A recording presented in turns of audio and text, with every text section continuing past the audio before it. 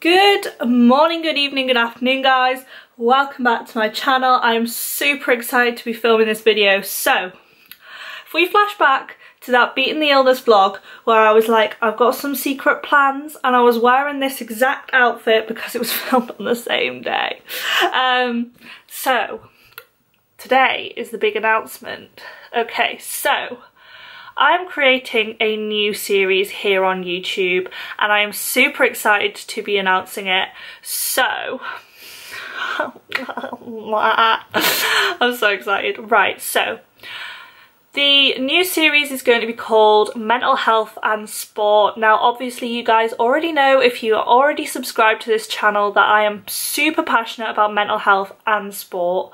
Um, I've done a mental illness, mental health, my mental health story on here before. Um, I've also done my swimming journey on here before and obviously I am a swimmer but I am interested in promoting mental health being less stigmatized in any sport and I wanted to get different people's points of views on this so I've messaged around a couple of my friends and some people have said that they would be happy to um, almost do like an interview style video.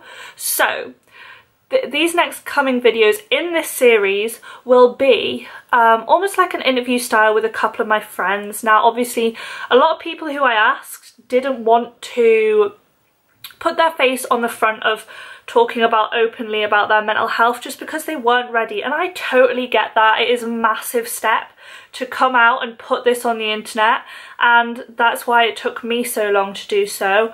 But I personally think it's so important to start talking about this and I know firsthand that sporting, sporting governing bodies can learn so much and improve their mental health facilities and their mental health focus. So that is why I wanted to create this series. Now I don't want to just talk about swimming, I want to talk about every sport possible and get as many viewpoints as we can. So that is why I decided to start this series and I just thought it would be a really interesting thing to discuss. So not everyone's going to agree with my point of view that their sport needs to um, improve their mental health aid and improve that. Not everyone's going to have a mental health story. Not everyone who's going to feature in this series is going to have gone through mental illness or hard times with their mental health, but they are still promoting that that sport needs to talk more about mental health because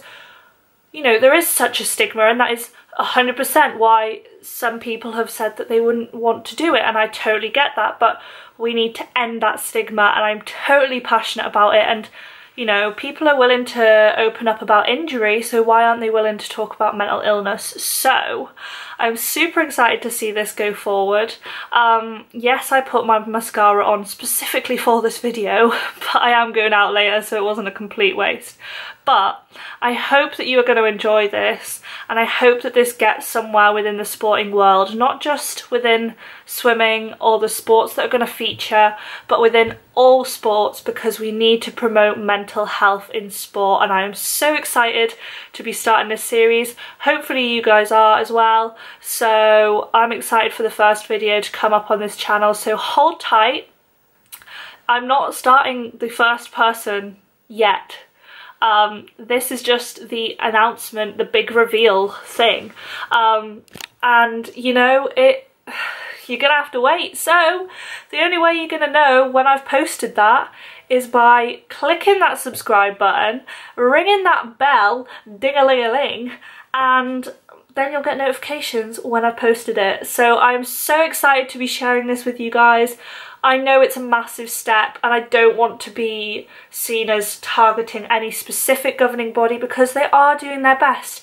And governing bodies are doing better in the world of mental health and you know we are slowly improving in society and people are more the more people that open up the more that we're going to progress as a society and as a culture and the more that we're going to break down that stigma. So I look forward to seeing you for the first one Obviously, it is my best pal who's going to be doing the first one because I could not resist having her on it. So I look forward to seeing you then and I will see you guys later. I have no idea where I was going with that outro, but I will see you then.